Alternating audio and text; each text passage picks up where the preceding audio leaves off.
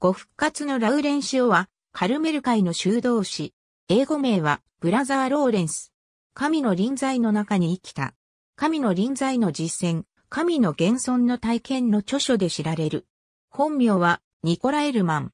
1614年、ニコラ・エルマンは、ロレーヌ公国のエリメニルに生まれる。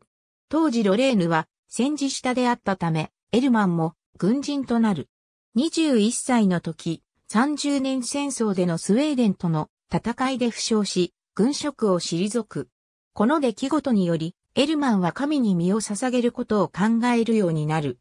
1640年にパリにある戦則カルメル修道会に入会する。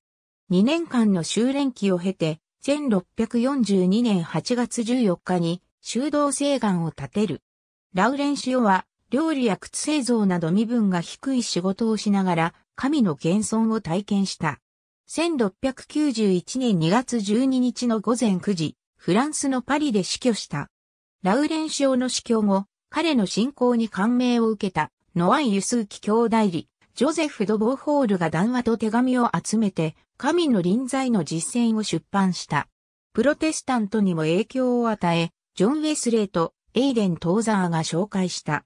神の現存の体験は、複数の言語で出版されている。ありがとうございます。